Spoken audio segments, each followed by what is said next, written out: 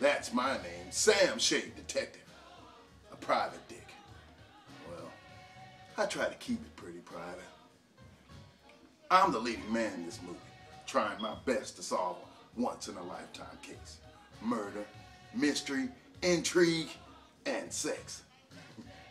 That's what this film's all about. Over there's my partner, Spike Harding, and our girl Friday, Lucy Lipschlitz. It's spring of 41. Hitler has spread his terror across half of the world.